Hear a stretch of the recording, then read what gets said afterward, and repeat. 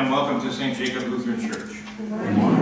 We're so glad to see you this morning. We are in our fourth week of Scripture is Fulfilled When, and this week we look at when we love our enemies. And you might be thinking, love your enemies. Hmm. Uh, pay attention. Uh, God wants us to love everyone, even our enemies. We begin by singing, Oh, bless the Lord, my soul. Uh, hymn 238, it's on the screen and also in your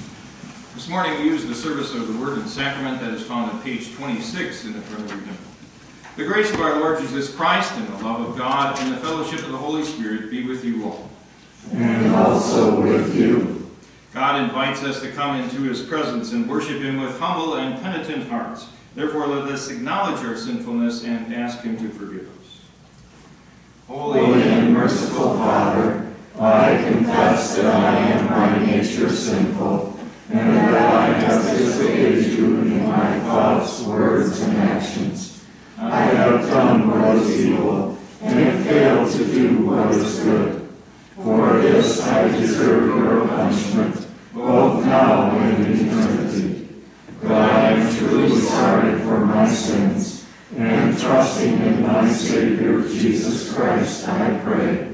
Lord, have mercy on me, a sinner. God, our Heavenly Father, has been merciful to us and has given his only Son to be the atoning sacrifice for our sins.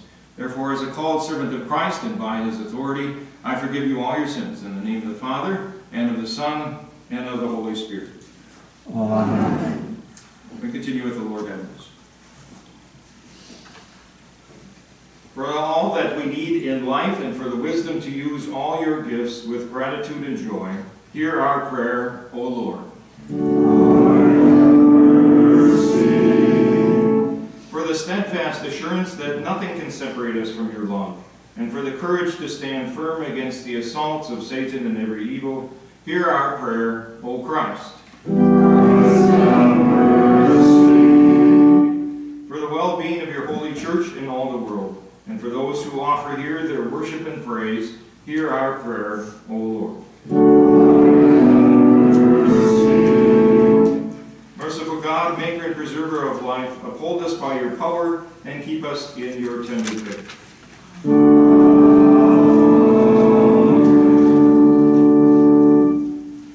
The works of the Lord are great and glorious. His name is worthy of praise.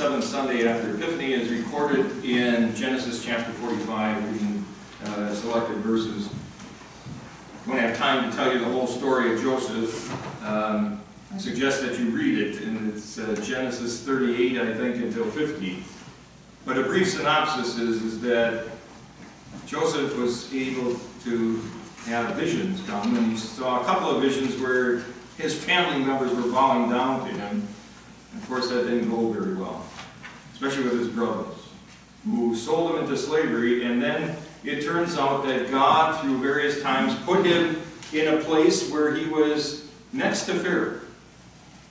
And then Joseph meets his brothers, who had cruelly sold him into slavery. Joseph said to his brothers, I am Joseph. Is my father still alive? His brothers could not answer him because they were terrified by his presence.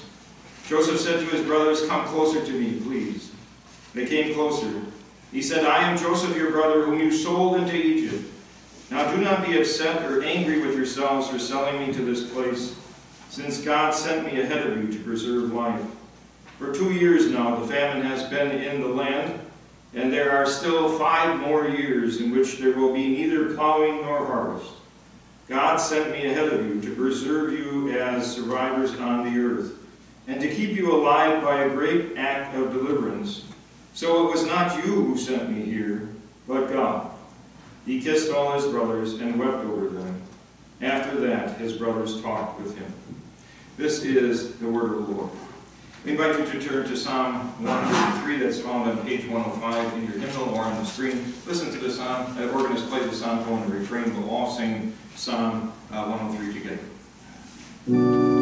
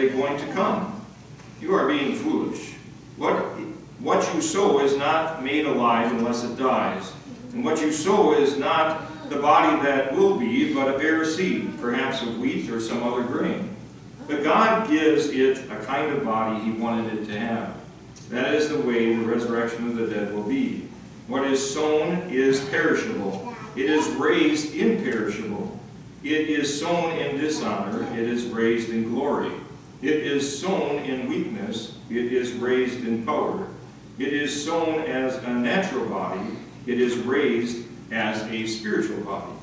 If there is a natural body, there is also a spiritual body. So also it is written, the first man, Adam, became a living natural being.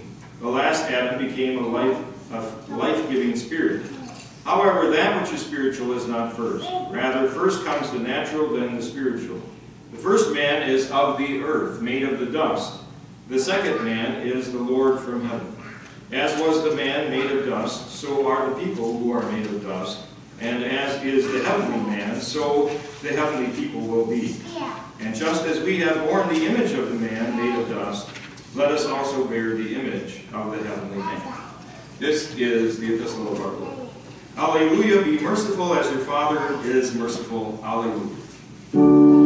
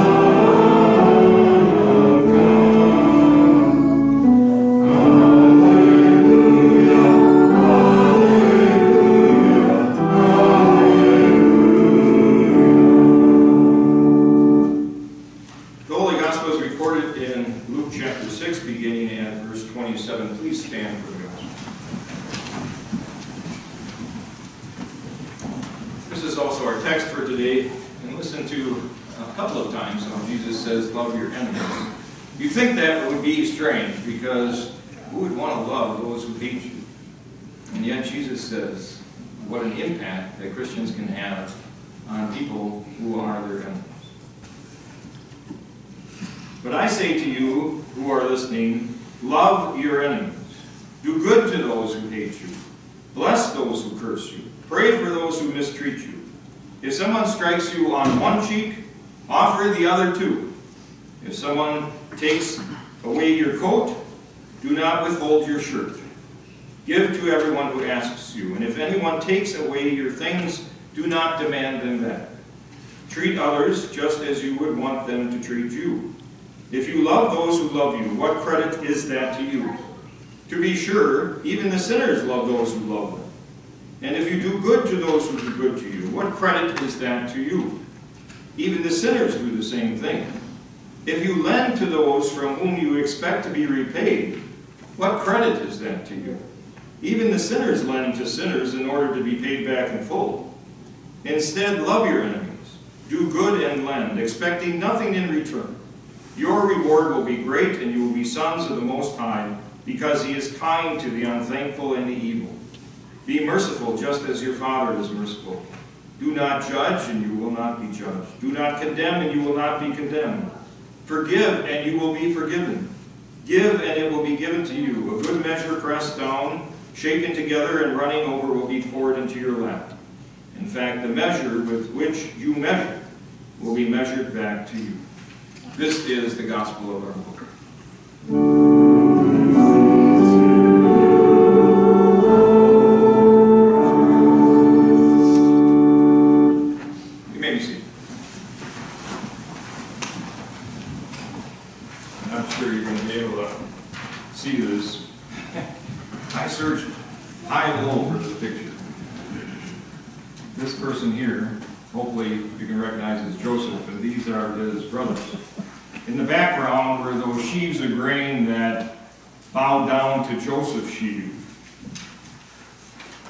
At the time, they thought that was pretty insulting.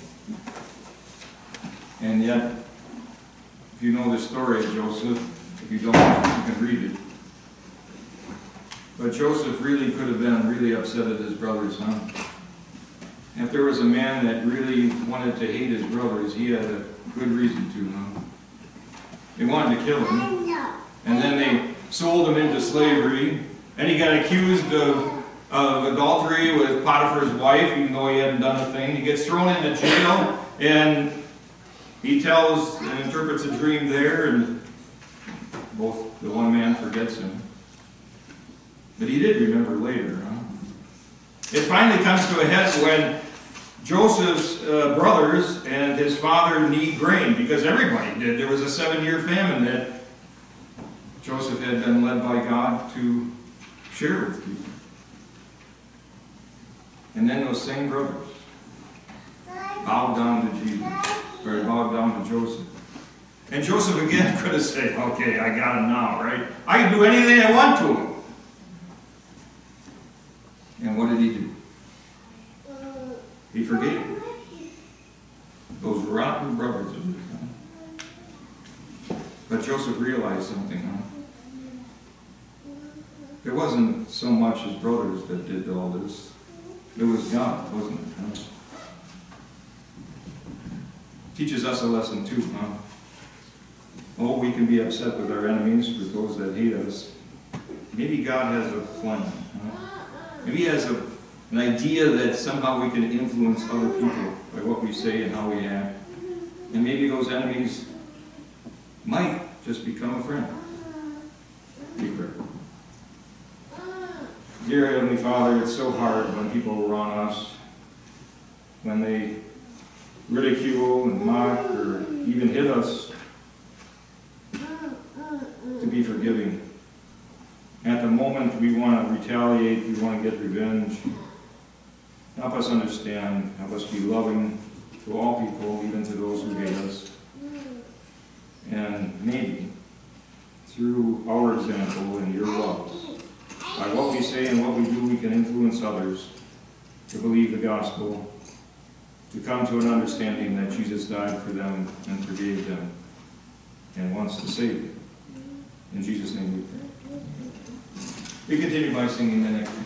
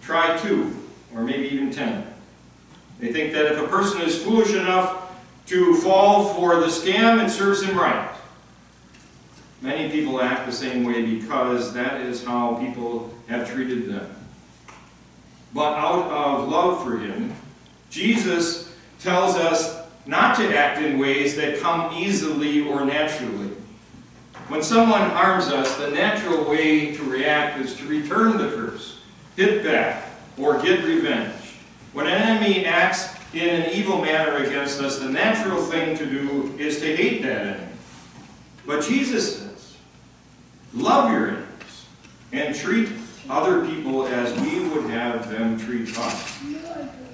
When I was a child, I felt that if someone hit me, I had a right to hit them back. Jesus says otherwise and commands you and me to love our enemies. We have reached the fourth week of our sermon series called Scripture is Fulfilled. In week one, we heard how we uh, Scripture is fulfilled when we are amazed at Christ's Word. In week two, we see we saw how the Scripture is fulfilled when we proclaim the gospel with confidence. In week three, we heard how we are blessed spiritually when we are poor, hungry, weeping, and persecuted. Today, Scripture is fulfilled when we love our enemies. We will look at why Christians love our neighbors in three ways. First, our Christian love must be greater than the love of skeptics. Unbelievers often operate under an equal retaliatory system. If someone does something bad to him, he will do something bad in return. In the Old Testament, you maybe remember that God's justice system was under the phrase kind of with eye for an eye and tooth for a tooth. And yet when one closely examines that law in light of Christ's law of love, even loving our enemies, some differences arise. In the Old Testament, the criminal was treated as he mistreated his neighbor. Still, this command described a justice system, a code, a criminal code, if you will, in which injustice falls on that evildoer. Here, Jesus is not offering a legal code of justice, but he is speaking to people's minds which desire revenge. In our personal relationships, Jesus advises us to display love, which desires to rescue an enemy and to save his soul. How will a Christian develop an attitude that loves his enemies, does good to, to them, and lends to them without expecting anything in return? A Christian has experienced God's mercy and His grace. He is a gracious and merciful Father, and we know that. He is not forced to show us kindness and love, and yet He graciously feeds us, clothes us, and satisfies us. Because of God, the reward of His people will be great, not because they earned or deserved it, but because God is merciful and kind. Because God is gracious, the Most High changes the whole life of sinners into sons. We are told in Galatians, God sent His Son to be born of a woman so that he would be born under the law, to redeem those under law, so we would be adopted as sons. In mercy, the Father wants to give his sons and daughters the great reward of heaven. Otherwise, without God's help, we are no different than sinners. Just as the Father shows mercy and grace to us, he also shows love to unbelievers. The Most High is good and kind, even to the ungrateful and the wicked. He is kind to those who are unthinkable, and he makes the rain fall on the just and the unjust. This merciful God freely gives and forgives. The Father asks us to be merciful, just as he is merciful. A Christian cannot act unexpectedly because a Christian can act unexpectedly because he has experienced uh, his Father's mercy. Because a believer recognizes that occasionally he is ungrateful and rebellious. He knows he doesn't deserve any special favors. Being a Christian, he knows that he is uh, sinful from the time his mother conceived him, and that he is born with a sinful flesh. The inclination of our thoughts is only evil all the time. By nature, we choose evil over good. We naturally retaliate and withhold. But our merciful Father in heaven cares for us and He reaches out to save us. With His amazing grace, He has loved unthinkable, unthankful people like you and me. He loves us so much that He sent His Son, Jesus Christ, to die on the cross to pay for all our sins. Our Father's kindness and mercifulness has turned us from sinners into sons of the Most High. And that fact should inspire us to freely give and forgive other people. Second, impacted by Father, our Father's mercy, we pattern our love after God's love. As people with a Christian spirit, our love will excel the love of unbelievers. The heart of Christ's um, teaching is love, and He wants His children to show love in return. Through a heart changed by the gospel of Jesus, the Lord directs people to follow his example of love. Although Jesus possessed the power to do so, he never responded in hatred. He endured ridicule and torture, and on the cross he even forgave those executioners. Likewise, Jesus asked his disciples to display a spirit of meek, conciliatory, and forgiving love. To suffer injustice rather than take justice into their own hands. By doing good and praying for those who intend to harm us, we may open the enemy's ear, our enemy's ears to faith. By such loving action, our enemies will know our hearts have been changed by Christ's love. Jesus then lists a number of examples. He says, if someone strikes you on uh, your, uh, uh, strikes you are not to strike back, but you are to offer your other cheek as well. If someone steals your coat, you are to let him have your shirt too. This indignity uh, does not mean that believers un, uh, believers are to expose themselves to every indignity at a wicked man's expense. The law of love is not intended to encourage lawlessness or to open the floodgates of cruelty and crime, but it does seek to influence a person. This requires patience, forbearance, and a willingness to forego one's rights and suffer wrong. Such love will always be ready to help and will give without expecting anything in return. Such love will share what we have with others, with those who ask something of us.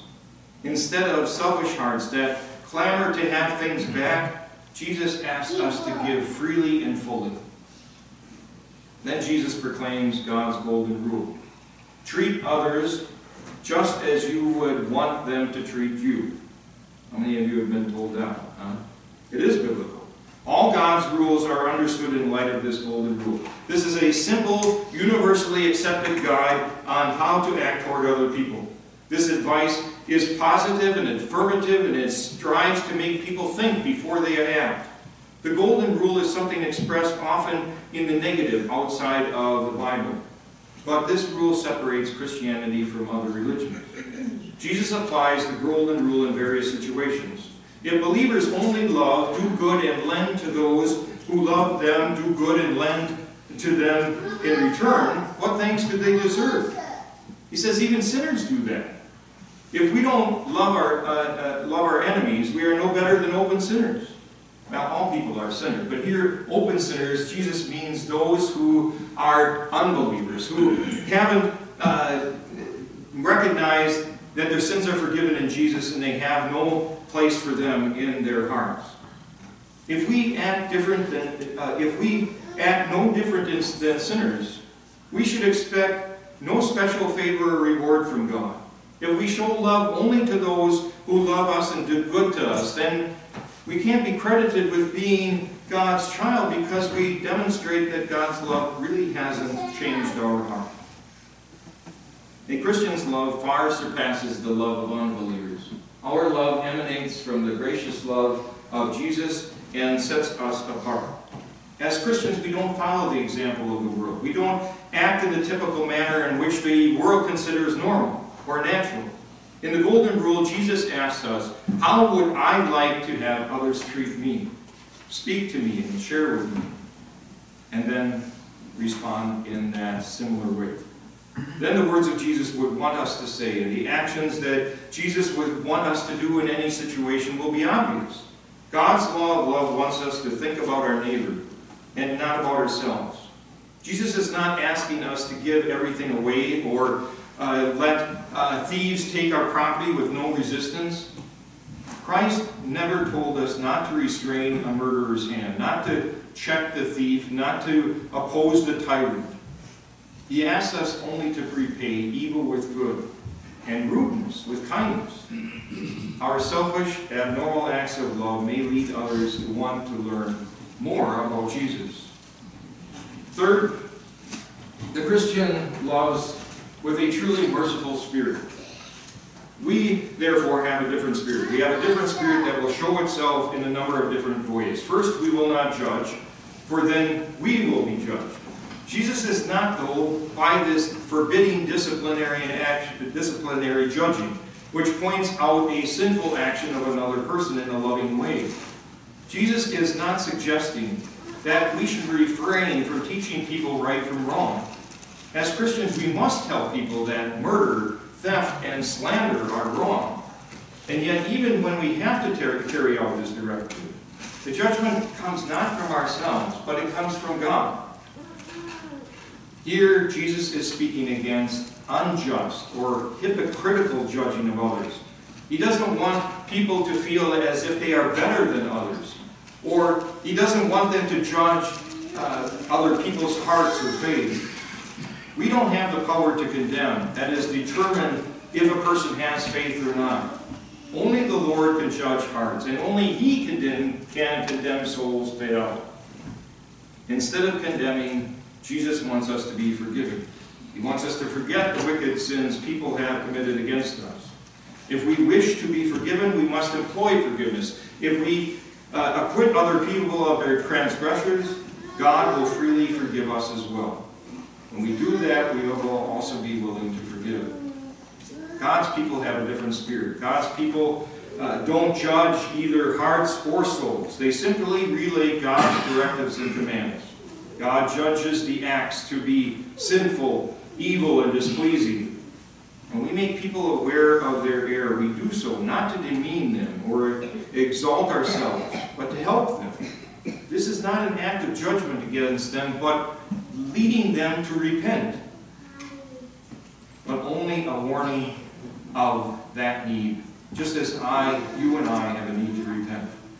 Only the Lord knows those who trust Him, and only He can determine the fate of a person's soul. We must give and we hope to give in return. God gives, pours out a good measure into everyone's lap, everyone's lap. Here Jesus pictures a grain that is poured into a container that is pressed down and shaken so that every corner is filled and that the grain that is poured runs over. Like patches, unlike packages today, the contents would not be settled way down, uh, but right up to the top. How believers use what God has given them will determine how God blesses them.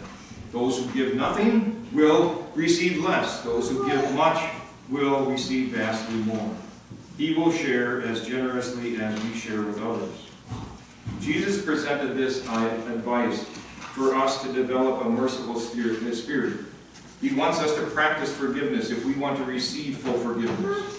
Indeed, If you forgive people when they sin against you, your indeed, if you forgive people when they sin against you, your heavenly Father will not forgive your sins. But if you do not forgive people their sins, your Father will not forgive your sins. As believers who have been acquitted of our sins, the Lord wants forgiveness to be clearly evident in our lives. We should be giving people, not stingy. Jesus urges us to share generously with others out of all that God has given us. What we do, he promises that he will, we will never miss what we have shared. In Psalm 23, the Lord says, You set a table before me in the presence of my foes. You drench my head with oil. My cup is overflowing. Surely goodness and mercy will pursue me all the days of my life. The Lord will, promises that He will share with us generously as we share in love with others what He has given us.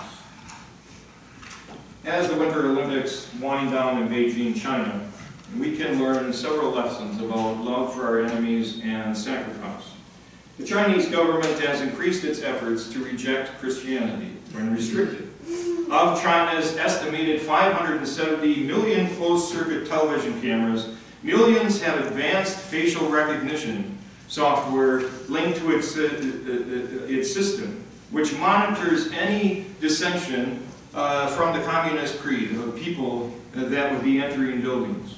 Communist officials in several provinces have threatened to withdraw welfare benefits, including pensions, if Christians refuse to replace Christian imagery, such as crosses, with pictures of President Xi Jinping. Young people under 18 have been banned from any religious activity since 2018. And yet our sin continues to reach out to the Chinese people with the gospel of Jesus Christ. Conversely, American speed skater Erin Jackson became the first black woman to win a medal in speed skating and the first American woman to medal in the 500 meter race since 1994 when she won a gold medal. And it almost didn't happen. During qualifying, when Erin slipped in her race, she would have missed out on her spot. But her teammate Brittany Bowe gave up her spot so Jackson could compete in the 2022 Olympic Games. Bowe said she has earned the right to compete in the marquee in her marquee event at the Olympics, and it was an honor to give her that spot. Jackson appreciated her teammate's decision to relinquish her spot. She made a real big sacrifice for me, Jackson said after her win. I'll be grateful for her to her forever. The love our Heavenly Father has for us has changed our lives. We love because He, that is God, first loved us. Our love must be greater than the love of, of skeptics. We pattern our love after God's love, and we love with a truly merciful spirit. Amen. Now may the peace that surpasses all human understanding keep your hearts and minds through faith in Christ Jesus. Please stand as we say the Nicene Creed. That's on page 31 in your hymnal, and it's also on the screen. We say the Nicene Creed. We believe in one God, the Father, the Almighty, maker of heaven and earth, of all that is seen and unseen. We believe in one Lord Jesus Christ, the only Son of God, eternally begotten of the Father, God from God, light from light, true God from true God, begotten, not made, of one being with the Father. Through him all things were made. For us and for our salvation, he came down from heaven, was incarnate of the Holy Spirit and the Virgin Mary, and became fully human.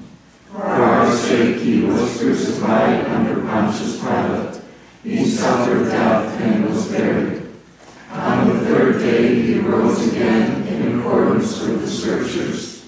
He is ascended into heaven, and is seated at the right hand of the Father. He will come again in glory to judge the living and the dead, and his kingdom will have no end. We believe in the Holy Spirit, the Lord, the giver of life, who proceeds from the Father and the Son, who in unity with the Father and the Son is worshipped and glorified who has spoken through the prophets. We believe in one holy Christian apostolic church. We acknowledge one baptism for the forgiveness of sins. We look for the resurrection of the dead and the life of the world to come. Amen.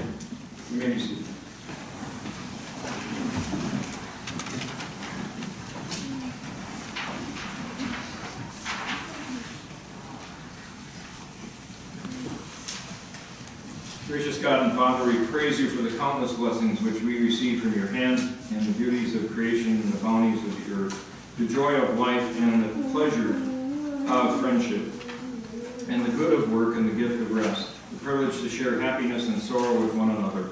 Above all, we praise and thank you for your saving word and for the Son's body and blood, which you give us to eat and to drink in the sacrament. Through these means of grace, you send the Holy Spirit into our hearts and unite us to Jesus and the whole Christian church on earth. Strengthen us through this heavenly food. Increase our trust in Christ and our love for one another. Great God and Lord, without your continuing help, we easily waver in our faith, lose courage, and grow careless in our watchfulness. The times and days are perilous. Give us strength to face the evils of each day with fresh confidence. Open our lips to speak of your grace, and move us to use the gifts that you give us to share your word of salvation with all people. Protect and prosper the family, the school, the government, and all good institutions that you have established for the benefit of society. Remember in mercy those who are sick and suffering, and bring your healing to troubled homes and lives.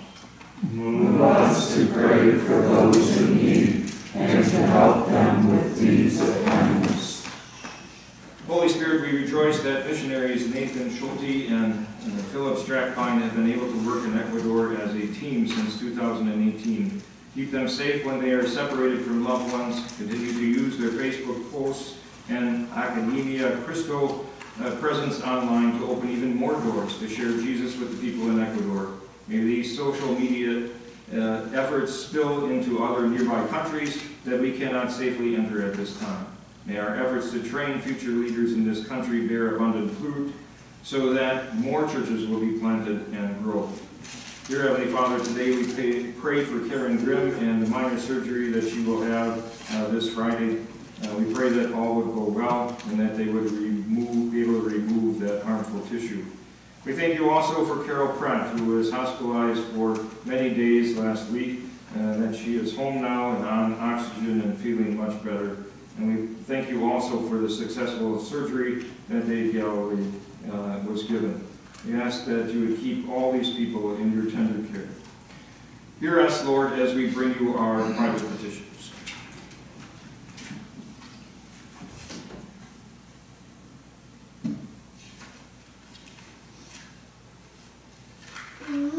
Now, eternal God and Father, keep us in the saving faith and so enable us to overcome all things through our Lord Jesus Christ. We join together in praying the Lord's Prayer. Our Father, who art in heaven, hallowed be thy name. Thy kingdom come, thy will be done, on earth as it is in heaven. Give us this day our daily bread, and forgive us our trespasses, as we forgive those who trespass against us. And lead us not into temptation, but deliver us from evil. For thine is the kingdom, and the power, and the glory, forever and ever. Amen. To continue with the communion liturgy found on page 33 in the front of your hymn. The Lord be with you.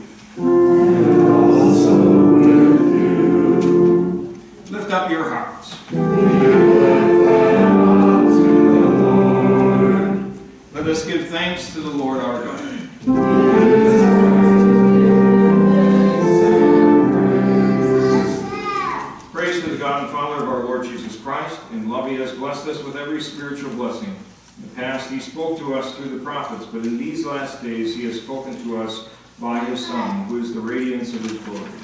Now I come to salvation and the power and the kingdom of our God and the authority of his Christ. To him who sits on the throne and to the Lamb be praise and thanks and honor and glory forever and ever.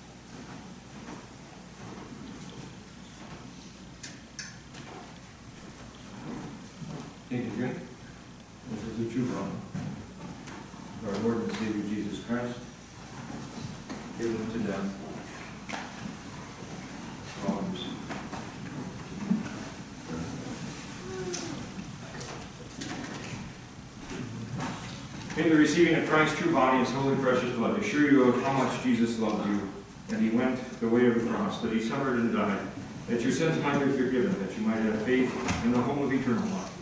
The peace of God be with you. Congregation is invited to sing the communion hymn, 315. We'll do that two verses at a time.